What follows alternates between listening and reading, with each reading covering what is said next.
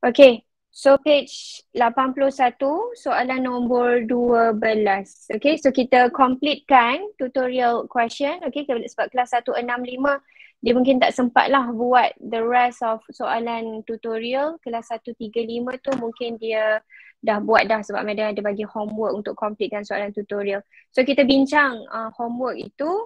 So soalan 12C dia minta K max of the photoelectrons when the frequency is 6.4.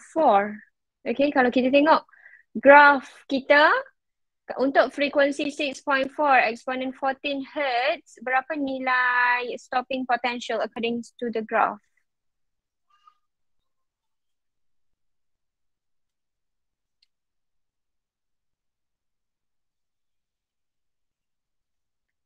Sebab frekuensi 6.4 exponent 14 hertz ni ada dalam graph kan? So waktu frequency of light 6.4 exponent 14 ni berapa nilai stopping potential? 0.8. Ah 0.8 volt. So macam mana nak dapatkan K max? Kita go through laju sikit. Kelas 135 madam rasa dah buat dah ni. So macam mana dapatkan K max? K max equals to E minus W naught. E equal to Korang buat E sama dengan W naught plus K max ke?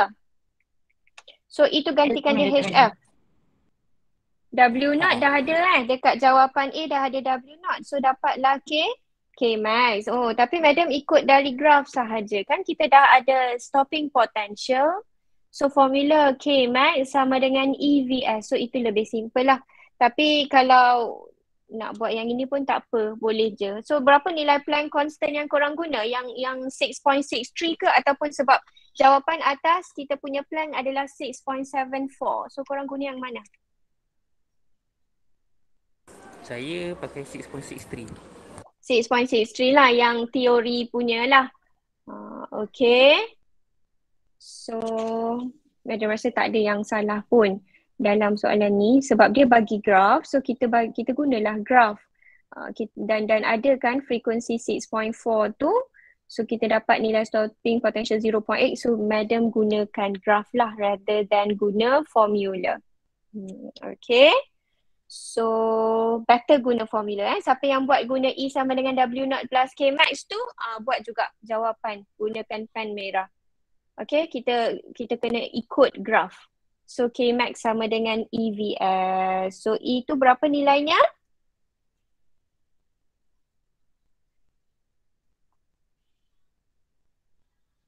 One point six. Exponent Times ten to the negative. power. Negatif 19. Okay, VS kita 0.8. So dapatlah berapa uh, kinetic energy kita. So korang kan kalau kita kita malas kan nak tekan calculator, So E tu remain, VS tu 0.8. So nanti kita boleh dapat 0.8 electron volt. Okay, so itu juga adalah unit for energy kan. So kita tak perlu pun substitute 1.6 eksponen negatif 19 itu. Okay, sebab soalan tak request pun nak dalam unit apa, nak dalam unit joule ke electron volt. So kita kalau malas nak tekan calculator kita boleh terus sahaja darabkan dengan E tu without substitution. So kita boleh dapat jawapan. Okay 12C 0.8 electron volt. Okay kita tak perlu substitute pun 1.6 eksponen negatif 19. Kalau substitute nanti dapat unit joule lah. Itu eh. Okay so itu soalan C. Next soalan D copy the graph above and draw a new graph. Okay, kita copy the graph. So graph kita stopping potential, unitnya adalah volt. Lepas tu kita ada frequency times 10 to the power of 14 hertz. Okay, so kita copy the graph. So ada bagi nilai 4.5 dekat sini, the x-intercept. Okay, so yang lain tu memang rasa okay je dah. Okay, so dia kata copy the graph above and draw a new graph on the same axis when the experiment is repeated using a method of higher work function. Okay, so work function uh, meningkat. Okay. As the kata, explain any changes to the shape of graph. So macam mana untuk new graph kita kalau dia gunakan method with a higher work function? Macam mana shape of graph yang baru?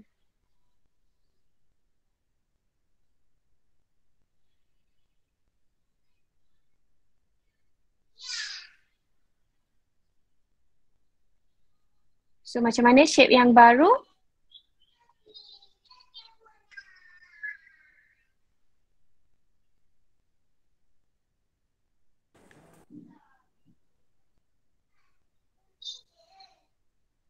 Okay, macam mana?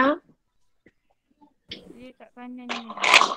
Dia dekat sebelah ka, kanan. Okay, so uh, graf yang baru, Madam buat warna biru eh, adalah berada di sebelah kanan. Uh, dan dia parallel kan, Madam katakan. Uh, kenapa graf yang baru tu berada sebelah kanan? Sebab bila work function higher, so Frequency increase.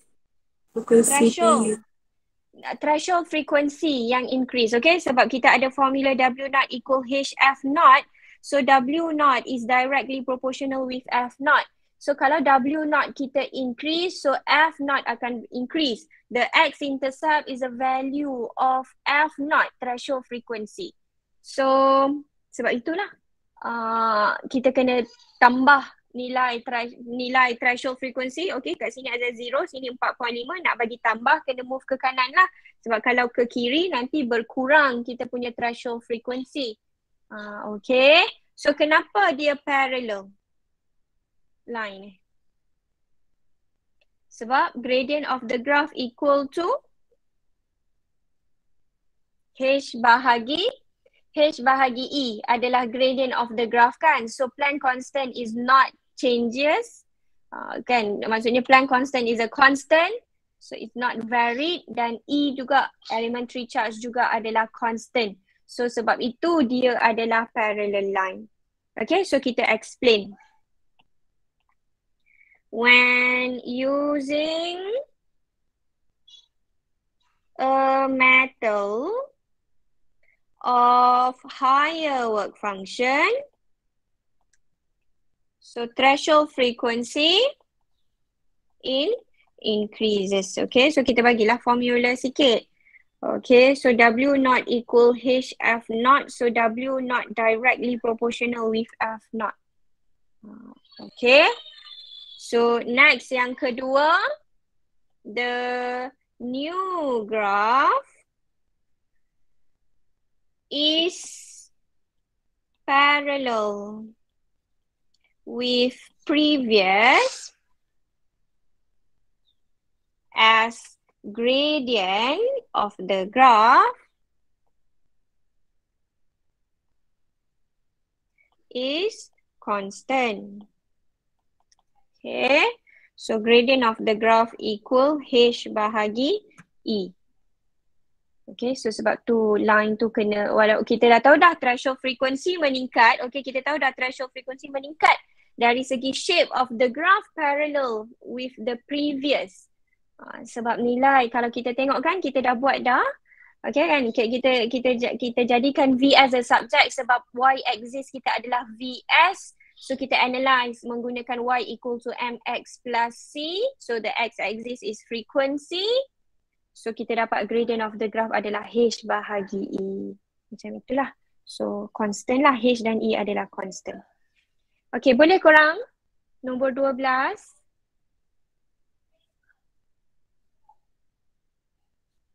Boleh madam. Okay. Mm-hmm. So kita pergi ke soalan 13B eh. Kita hari ni nak completekan bahagian graph 13A. Um, Madam tak ingat kita dah buat dalam kelas ke belum tapi rasanya korang boleh je dah uh, buat kalau belum buat lagi tu buat sendiri untuk 13A sebab dah banyak dah juga soalan yang kita buat. Okay so 13B current voltage graph. Okay so kita ada dua kan graph. So ni graph yang pertama yang kita belajar. Current voltage graph. Okay kita kena letak unit ya walaupun uh, kita tak tahu apa unitnya. Kita buat SI unit for current and voltage. Okay, so madam tengok kan dekat lab report, dia buat title graph of V against I. Dia buat dalam lab report lah. Tapi bila dia lukis graph, dia lukis I against V. Ha, so apa yang dia cakap dulu tu, itu adalah Y axis sepatutnya. Ha, okay, dalam lab report ni. So title dah betul dah dia tulis title. Tapi axis dia silap. Sepatutnya V tu Y axis. Yang dia cakap dahulu, itu adalah Y axis. Kemudian baru adalah X axis. So sepatutnya kena buat V lah orang punya Y axis. I adalah, current adalah X axis. Kan kalau yang ni pun dia ada cakap current voltage graph. So current jadi Y axis. Voltage jadi X axis. Okay. So shape of the graph. Okay. The the the X intercept adalah value of stopping potential. Okay. So increase sehingga ke satu tahap dia saturated. Hmm, macam itu. Okay. So dia suruh label VS je kan. Okay kita dah label dah lah VS. Okay madam tambahlah lagi kita label je. I saturated dengan yang ini adalah I not. Maksudnya dia adalah current yang flow semasa voltage-nya adalah Z zero. Ha, waktu voltage, waktu there is no voltage, maksudnya power supply itu kalau kita off kan, Uh, tapi masih lagi ada current yang flow dalam circuit photoelectric effect kita. So nilai current tu adalah the uh, initial current even though there is no voltage from the power supply. Okay. So itu. So 13B. So next lagi sekurang soalan mana pula? 14 dah, 15 dah kan? So 15B soalan 15B. Okay, 15A madam rasa madam jadikan tu as a homework. Kalau kelas 165 belum buat lagi, boleh buat sendiri ya. Okay, so 15B explain what will happen if the experiment is repeated by using light with a frequency less than threshold frequency. Oh ni bukan graph. Ah, okay, so dia tak suruh lukis graf pun. So apa yang berlaku pada eksperimen kalau kita gunakan light, frekuensinya kurang dan threshold frequency. Okay, frequency of light is less than threshold frequency. Explain what will happen. Jawapannya?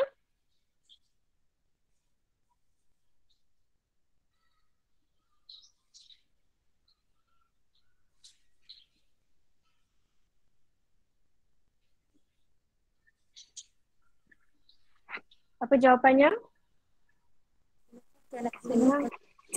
Apa dia? Tak dengar? Silicon cannot be removed from the metal surface. Ah, no. Photoelectron. Okay, ini bukan number. Kita buat capital letter. No photoelectron emitted from the metal surface. Kan? Sebab nak bagi electrons keluar daripada metal surface frequency of light kena besar daripada threshold frequency. Sebab threshold frequency adalah minimum frequency. Itu paling minimum untuk electrons keluar. Tapi kalau frequency of light lagi rendah daripada minimum maksudnya electrons tak boleh keluar lah hmm. Okey tak kelas 165? Macam lambat je menjawab soalan madam faham ke chapter ni?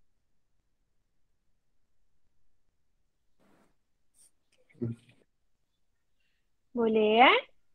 Okay, so chapter ni madam kata antara chapter yang mudah uh, so sayanglah kalau tak faham lagi tu.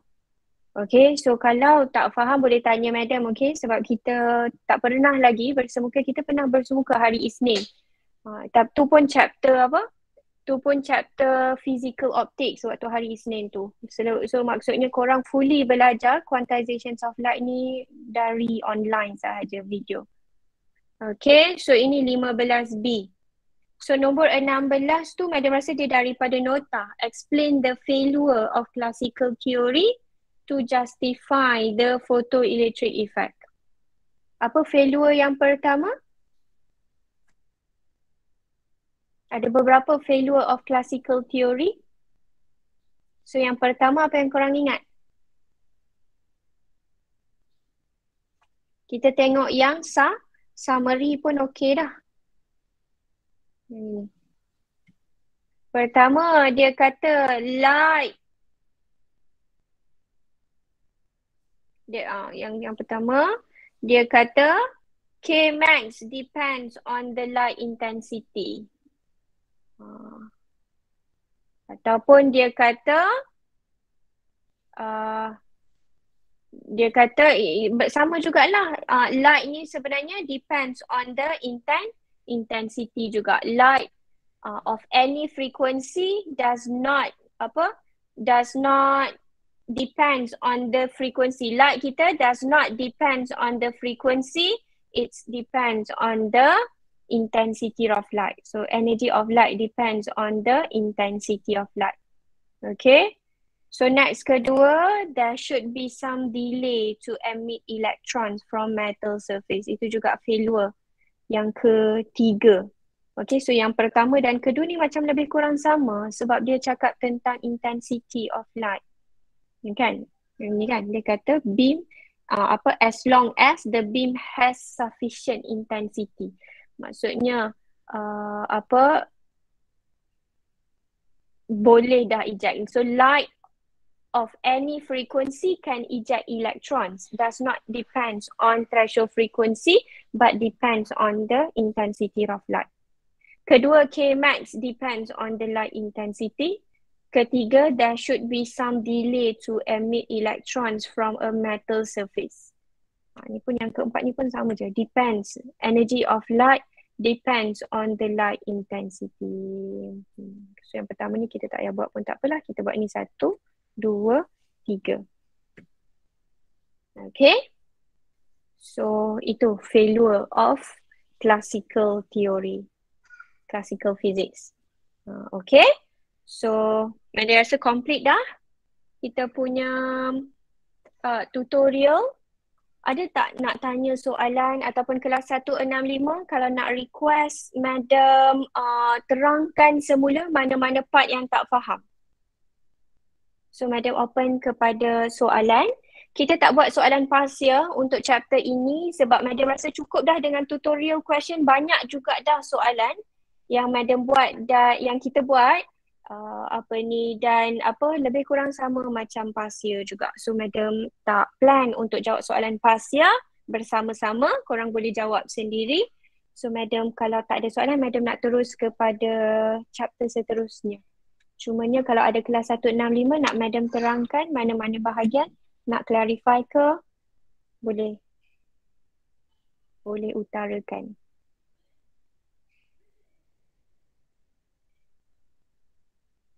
So boleh ke? Boleh madam. Boleh eh? Okay. So kita nak pergi kepada chapter 10. Okay. So this is the this is the second last chapter dalam physics. So kita akan mungkin habis syllabus uh, mungkin minggu depan lah. Hmm, hari Sabtu pun kita ada kelas lagi. So um, chapter 10 ni dia pun pendek sahaja dua sahaja dua sahaja chapter. Madam rasa madam boleh completekan dalam masa dua jam untuk chapter 10. Tapi bila kita jawab soalan tutorial, So dia lebih susah lah soalan soalan so, uh, chapter 10 ni dia mudah tapi soalan tutorial tu dia perlu strong matematik lah sebab dia banyak soalan berkenaan dengan ratio. So kita kena comparekan dia uh, dua situasi tu. Uh, okay. So chapter 10 is about wave properties of particle. From chapter 9, we know that okay so chapter 9 dan sebelum itu chapter 8 chapter 7 kan geometrical optics physical optics and quantizations of light itu sebenarnya kita belajar tentang character of light kan dari GO, PO dan quantizations of light. Okay, sebenarnya semuanya kita belajar tentang light. Okay, sebab optics ni kita boleh nampak sesuatu bila ada cahaya. Uh, okay, so kita belajar tentang character of light. So light is being reflected if the incident ray goes to the shiny surface. So berlakunya reflection of light kalau light boleh tembus kepada medium, sesuatu medium with the difference index refractive, okay, contoh dari air pergi kepada water. So light tidak melakukan reflection, so light akan melakukan refraction, dia boleh tembus masuk ke dalam water. So the speed of light will be different if the light going through the different medium. So kita belajar tentang refraction. Okay, dalam chapter physical optics, whenever we have two wave of light, so two wave of source of light, so light will be interfere. So kita belajar phenomenon of interference of light dalam chapter physical optics. Okay, so dalam chapter quantizations of light, kita belajar bahawa light sebenarnya adalah satu particles from the experiment of photoelectric effect Okay, so the light can bombard the electron from the metal surface and menyebabkan uh, electrons keluar daripada metal surface tersebut. So from quantiza- quantizations of light, kita tahu bahawa light yang bersifat bersifat wave sebenarnya juga adalah satu particle. Uh, okay, so dalam chapter 10 kita nak buat vice versa pula. Kalau light yang bersifat wave ni boleh behave like a particle, boleh tak particle juga behave like a wave. So itu adalah chapter 10, the wave properties of particle. Okay, when we talk about particles, dia adalah satu particle lah, satu tiny object uh, seperti elektron, seperti uh, proton, neutron. Okay, so itu adalah satu particle. So boleh tak particles melakukan diffraction? Okay, sebab diffraction ni adalah sebenarnya satu karakter of wave. Okay, so wave kalau kita pergi ke single slit, so wave akan melakukan diffraction. So diffraction is the common phenomenon for the wave. Okay, So sekarang ni kalau kita pula bombard bukan wave, kita bombard electrons ke dalam single slit. Boleh tak electrons melakukan diffraction? Uh, okay, so because diffraction is a properties of wave. Uh, okay, so jawapannya boleh. Okay, so um, kita ada dua subtopik. Subtopik yang pertama tentang wave particle duality and use de Broglie wavelength. Okay, the symbol is wavelength lah. Lambda, cuma lambda ni kita bagi nama special sikit. Okay, so dia adalah uh, de Broglie wavelength. Okay, so sama dengan Planck constant over momentum. Okay, so classical theory is discovered in the 17th century. So lebih kurang tahun 1800 adalah teori daripada classical okay? So um, deals with two categories of phenomena. Kalau when we talk about particles so particle mesti have a mass kan? Macam electron proton neutron it has a mass and obey newton's law. Okay? So example of particles like bullet electrons proton and neutrons. When we talk about wave kalau kalau sesuatu uh, ombak tu so dia mesti ada wave wavelength lah lambda. Is a distance between two wavefront. Okay that have the same phase okay so next wave kita uh, sifat wave kalau travel through an opening or around a barrier so the wave will do diffraction. Kalau kita ada two source of wave so this the the wave can also interfere uh, to one another Okay, so itu adalah karakter of wave. Wave melakukan diffraction and interference. Kalau particle, it has a mass. Uh, okay.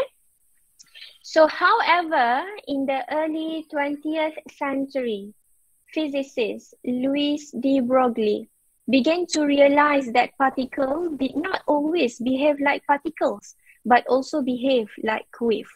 Uh, okay, So pada tahun 1900 lebih kurang 20th century kita ada seorang uh, physics dari Jerman rasanya Louis de Broglie. Okay. So uh, physics uh, dia, dia dia come up with the idea sahaja. Okay. So there is no experimental that prove the idea. So dia cakap sebenarnya particles ni uh, tak always behave like a particle. So, sometimes the particles also behave like a wave. So this phenomenon is called wave particle duality. Okay. So Prince Louis de Broglie was the first to suggest that matter like light has both both wave-like and particle-like properties. Okay. So kita dah belajar tentang light daripada chapter quantizations of light. So what is wave particle duality? It's a phenomenon where under certain circumstances a particle exhibit wave properties and under other conditions exhibit particles properties but we cannot observe both aspect of its behavior simultaneously. So wave particle duality uh, pada satu uh, pada satu masa kita boleh nampak hmm, kan dia kata under certain circumstances kita boleh nampak particle uh, behavior particles adalah wave. Uh, dan bila conditions yang lain so particles exhibit as the particles lah properties. Uh, okay. But there is no one experiment to observe that the particles can observe wave and particles properties simultaneously. Uh, so, but we cannot observe both aspect of wave and particles in the particles behavior simultaneously. Uh, okay, so pada satu keadaan particles kita wave uh, behave like a wave. Satu keadaan lain particles kita behave like a particle. So itu maksudnya. Uh, okay, so cannot observe both aspects simultaneously. Tak boleh tak boleh tengok dia secara serentak. Uh, okay. So uh, daripada wave particles duality daripada Louis de Broglie, so dia suggest bahawa matter such as electrons and proton, which is a particle, right, might also have a dual nature. So he proposed that for any particles Okay, particles ni kan dia ada mass, so dia ada momentum lah. Okay, sebab tadi kita kata particles kita uh, ada mass dan mesti particles tersebut bergerak lah, electrons and proton. Maksudnya MV adalah formula momentum. Uh, okay, so momentum sama dengan mass times speed uh, times velocity of the particles. Okay, so he proposed that for any particles of momentum P should have a wavelength. Okay, wavelength adalah character of wave. Okay, so now called the de Broglie wavelength. Perkataan de Broglie menunjukkan uh, very small. Okay, sebab ni bahasa uh, bahasa apa yang Madam nak cakap Jerman lah kot. Madam tak ingat sangat uh, apa ni Jerman lah yang ada D ke France tu yang ada DD ni. Okay, so Madam tak sure sangat. So maksud de Broglie tu adalah very small wavelength. Okay. So ini adalah uh, de Broglie relation. So lambda sama dengan H over P.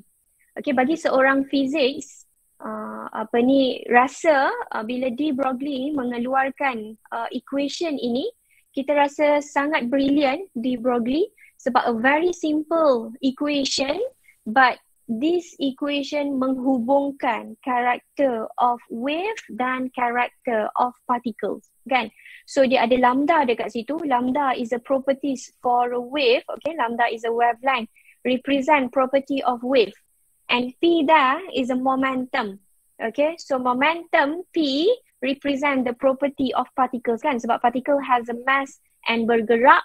So so bagi seorang fizik bila de Broglie Louis de Broglie ni dia come up with this formula so maksudnya dia rasa macam wow a very simple formula but menghubungkan antara properties of wave dan properties of particles dalam satu formula. Uh, okay. So next kita tadi kita ada uh, uh, apa equation of momentum equal mv. So lambda juga sama dengan h over mv. Uh, okay. So uh, So itu. So next kita nak buat derivations of energy of a photon. Okay ini adalah photon maksudnya light kita bukan proton eh. Jangan get confused. So energy of the photon is HF according to Planck quantum theory ataupun HC over lambda. From the Einstein's theory uh, of special relativity, so energy is equal to mc square. So kita equate kan dua equation energy ni Hc over lambda equal mc square. So c boleh potong satu. So kita akan dapat h over lambda equal mc. m times speed of light. So that is a moment momentum. Ha, so sebab tu dapat formula momentum sama dengan h over lambda. Okay.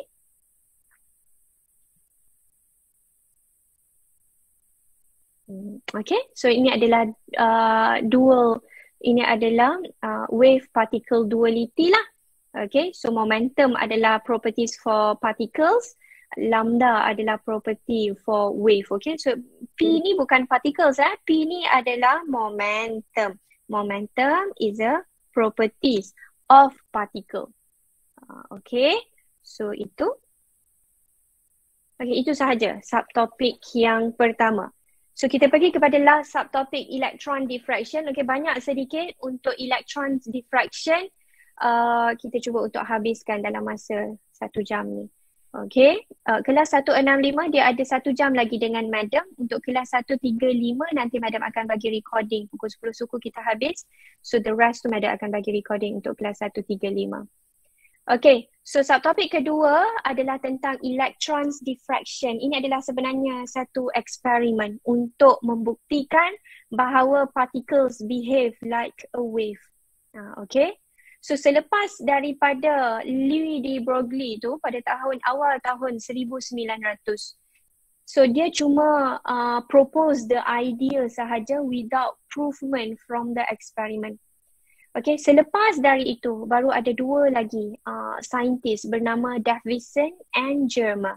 Uh, okay, so Davison and Germa membuat satu eksperimen to observe the electron diffraction. So how? So macam mana electrons boleh melakukan diffraction? Diffraction is a phenomenon for the wave, right? So electrons juga boleh behave like a wave. Electron as a particle boleh juga behave like a wave. So kita tengok macam mana image yang berlaku. Okay, macam mana uh, fringes ke kan yang kalau kita belajar dalam physical optics. So apa yang berlaku, uh, fringes yang yang terbentuk bila kita uh, go, kita kita apa, kita buat electrons pergi ke slit. Okay. So next, uh, daripada this experiment, so physics ada satu mikroskop uh, namanya adalah electron microscope. Uh, untuk tengok uh, untuk tengok image kita kan kalau kalau kurang modul satu dekat makmal makmal biology tu uh, adalah optical microscope kan. So optical microscope tu menggunakan medium light lah kan untuk melihat specimen uh, pada optical microscope kan. Yang kalau dekat sekolah menengah yang madam belajar maksudnya nak nampakkan apa tisu eh kita kita kita ambil tisu dekat mulut eh dekat dinding mulut ni. Ha okey so kita nak tengok macam mana bentuk sel. Ha, itu adalah optical microscope menggunakan light as a medium. Okay, so kita ada electron microscope. So image yang dihasilkan itu lebih jelas. Okay, so kita nak uh, dalam subtopik yang kedua explain the wave behavior of electron in an electron microscope. Yang ketiga adalah state the advantage of electron microscope compared to optical microscope. Okay, so apa kelebihan electron microscope berbanding optical microscope yang dekat makmal biology. Okay, so tadi madam kata D. Broglie ni confirm, okay. Uh, D. Broglie pada awal tahun 1900. Uh, so the de Broglie relation was confirmed in 1927. Okay, lebih kurang 20 years selepas itu, barulah ada saintis bernama Davison and Germer succeeded in diffraction electrons which shows that electrons have wave properties. Okay. So macam mana cara eksperimen ini dibuat? Pertama sekali kita ada electron beam. Kan, ada faham kan? Okay. So ini adalah power supply kita. Ini power supply kita. Okay, so the negative terminal is here.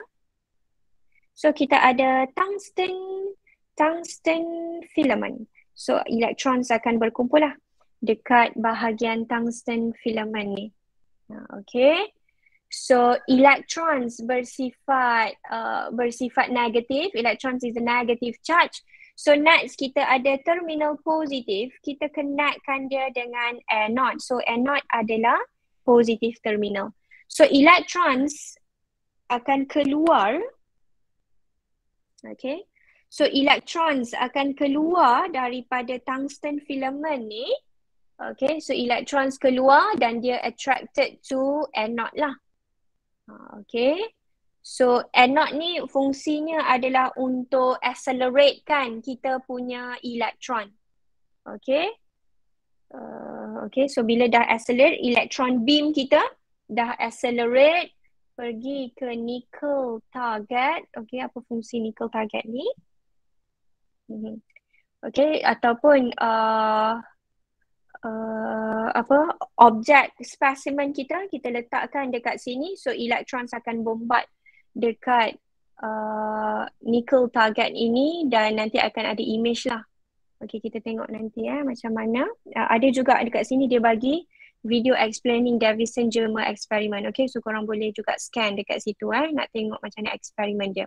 Okay so apa yang yang dibuat so electrons is heated up uh, uh, electrons from heated up filament is accelerated by variant potential between anode and cathode and allow to hit nickel target. Okay, so uh, berlaku pemanasan of tungsten filament. Okay, so kita panaskan dekat sini dia kata heated up the filament. So bila panas juga electrons boleh keluar daripada metal surface kita.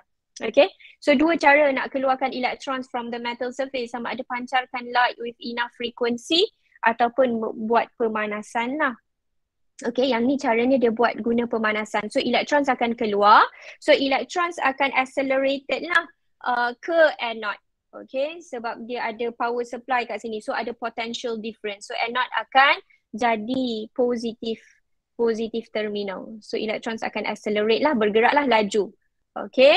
So the electron detector was mounted on an arc so it could be rotated to observe electron diffraction angle. So next uh, apa ni electron sampai ke ni, uh, ke nickel target so detector kita nak observe uh, nak observe scattering of electrons. Okay. So apa image yang kita nampak dari detector tersebut?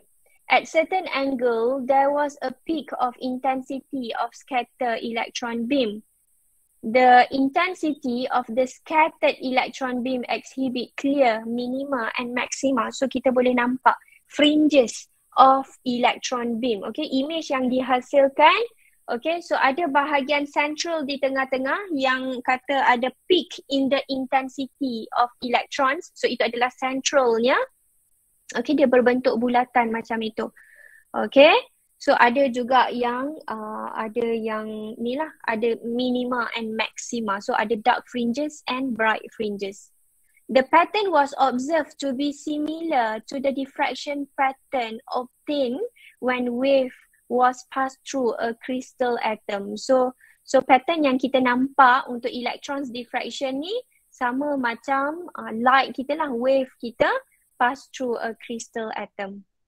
So this uh, establish the fact that electrons have wave-like properties sebab dia boleh form a fringes kan of minima and max maxima. So itu adalah diffraction pattern yang kita nampak uh, dalam eksperimen Davison-Germer experiment. Okay. So the velocity of electrons are controlled uh, by the applied voltage across anode and cathode. Thus, the electric potential energy akan sama nilai dengan kinetic energy kan? Sebab kita nak accelerate kan electrons adalah dari dari bila kita apply power supply. So, there is a potential difference uh, uh, daripada tungsten filament ke eh, anode. Uh, okay, so itu cara kita accelerate kan. So kita menggunakan electric untuk accelerate accelerate the electron. So electron has electric potential energy. Okay, all the electric potential energy akan digunakan oleh electrons untuk bergerak with kinetic energy. So nilainya adalah sama. Formula electric potential energy adalah QV ataupun EV. Okay, itu adalah formula electric potential energy. Kinetic energy is half mv square. So bear in mind we have a capital V for voltage and small v for a speed. Okay, so kalau dalam penulisan tu bezakan V awak eh. Kadang-kadang tu penulisan tu dia nampak sama je. Simbol V, mana V besar, mana V kecil. Okay, so ke, uh, pindahkan dua V ke left hand side. So next adalah dia pindahkan. Lepas dia pindahkan, dia darab M. Okay, darab M for both side. So kita akan dapat M square V square sama dengan 2 MEV. Dan momentum kan sama dengan MV. So kalau M square V square adalah momentum square. So momentum square sama dengan 2 MEV. So jadikan momentum as a subject. So kita akan dapat formula lain for momentum selain daripada MV adalah set 2 MEV. Okay ada tiga quantity dekat sini mass, elementary charge dan voltage. So mass times charge times voltage. Okay, set to MEV. Okay, so knowing that from de Broglie wavelength lambda sama dengan H over P. So kita boleh gantikan P kita sebagai set to MEV. Okay, so lambda equal H over set 2 MEV. Madam rasa formula ini tidak dibekalkan dalam dalam list of formula. Okay, Madam nak chat muka surat 14. Oh, dibekalkan. Okay, so kita ada formula nombor 85. Okay. So lambda sama dengan H over set 2 ME. V itu adalah voltage. Okay, so itu learning outcome yang pertama. Learning outcome yang kedua. Okay, so sebelum Madam pergi kepada learning outcome yang kedua, Madam nak list kan. Korang tulis dekat muka surat 14 tu formula kita. So kita ada formula pertama from the Broglie wavelength lambda sama dengan H over P. Kemudian sebab P adalah momentum, so kita ada formula H sama dengan mv, mass times velocity. Okay, small v. From the Wiesen Germer experiment, we obtain the new formula for momentum. So H over set 2 MEV. Okay. So kita ada lagi lah formula yang ketiga for lambda sama dengan H over set 2 MEV. Okay. So E dan V ni, E dan V ni sebenarnya adalah apa? Electric potential energy. So H over set 2M U adalah electric potential energy. Ha, okay. Dan dan daripada Davison Germer eksperimen tu juga di mana kita acceleratekan dia menggunakan potential energy. So all the potential energy akan transfer menjadi kinetic energy of the electron. So 2mk. Hmm, okay, so ini keseluruhan formula de Broglie wavelength kita. Satu, dua, tiga, empat, lima. Lima formula de Broglie wavelength. Uh, okay. So uh, yang ini ada, madam nak tekankan ni uh, ada tiga tau ni. Ada tiga, tiga terms dekat sini. Kan kadang-kadang student ingat E ni adalah subscript mass of electron. Dia bukan dia bukan subscript. Ha, kan ni mass of electrons times charge. Ha, macam tu sebab kita ada tiga M, E dan V. Yang ni baru dua. Ni mass of electron times potential energy. Sebab Davis and Germer experiment, menggunakan menggunakan electrons. Okay, so so formula yang belakang ni kita boleh gunakan untuk electrons lah ataupun particle. Uh, okay, so light tak boleh gunakan formula ini because light is a massless. So ni ada mass dekat sini. Uh, okay, so light tak boleh gunakan uh, formula ini. Okay, elektron boleh guna dari awal lah lagi. Momentum pun boleh elektron. Daripada awal ni elektron boleh guna. Tapi kalau light, light hanya boleh guna formula ni je. Dari light. Hmm. Okay, so itu light punya. Sebab light tak ada, tak ada, tak ada mass. Okay, nanti kita tengok daripada soalan uh, tutorial lah untuk berkenaan dengan itu. Okay, so kita masuk kepada elektron mikroskop sikit je lagi. Macam mana elektron mikroskop kita. Pertama sekali kita ada elektron source dekat atas. So kita bombartkan electrons pergi ke magnetic lens. Okay. Lepas tu macam mana? Ini scanning. Kita nak buat yang mana satu dulu ni je eh. Kita ada two types of electron microscope. Ada scanning electron microscope and transmission electron microscope. Two types eh. Okay. Kita tengok yang ni dulu. Kita tengok transmission electron microscope dahulu. So kita ada hot filament sebagai source of electron. Okay, so madam kata nak keluarkan electrons boleh dengan cara pemanasan. Okay, nak panaskan filament, apply power uh, apply power supply lah. Nanti filament akan panas kan. Uh, okay, so kita letak negative terminal dekat filament so electrons akan keluar dari negative terminal of power supply berkumpul dekat filament dan panas so electrons akan keluar. The condensing lens kita connectkan dengan positive terminal of the power supply so condensing lens menjadi positive ter- terminal so electrons akan accelerated dekat condensing lens. Okay. So next dia akan pergi ke objek diletakkan di objective lens. Uh, okay, so electrons akan pergilah ke objek kita.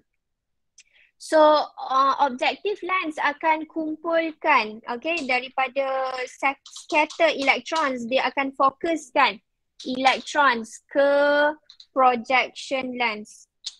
Okay, eyepiece dan kita boleh nampak lah okay image dekat fluorescent screen of film. Okay, to transmission electron microscope. Kalau scanning electron microscope ni sebab kita ada, kita boleh scan. Scanning electron microscope ni kita boleh nampak image dia secara three dimension. Kalau transmission electron microscope ni nampak 2D je, image 2D. Uh, so bestnya scanning electron microscope ni sebab kita boleh nampak 3D image. Okay, so So specimen dekat orang terangkan lah specimen dekat situ. So dia collect so dia boleh bergerak. So sebab tu boleh produce image yang apa? Uh, sebab tu boleh produce produce uh, 3D dimension. Okay kita ada ada scanning dekat situ boleh bergerak. Okay scanning coil okay so electron microscope menggunakan electron beam to create an image of the target. Okay.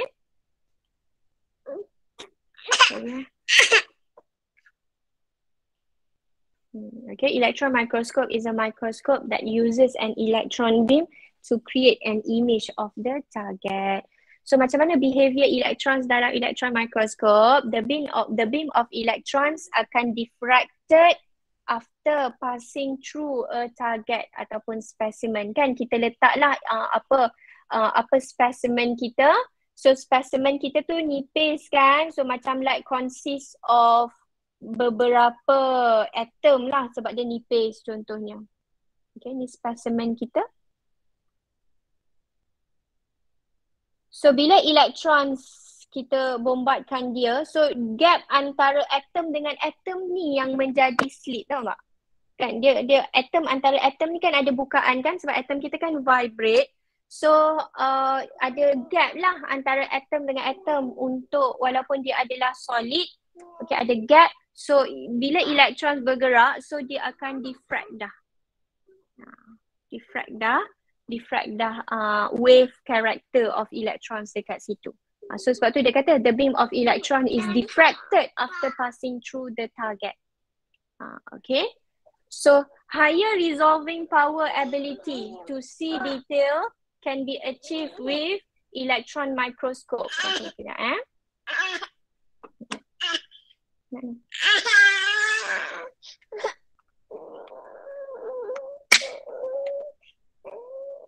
Sekejap eh.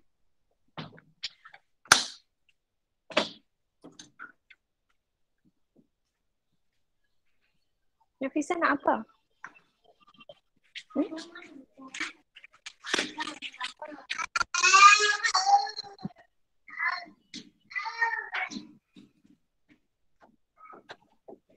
Okey,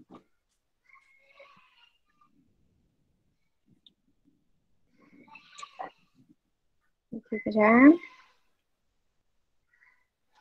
Macam banyak sangat dia punya ni. So higher resolving power. Okay, sekejap. Madam rasa ada nota dekat dekat buku rujukan yang lebih mudah. So lambda sama dengan H over P. So specialnya electrons, dia mempunyai lambda yang sangat small.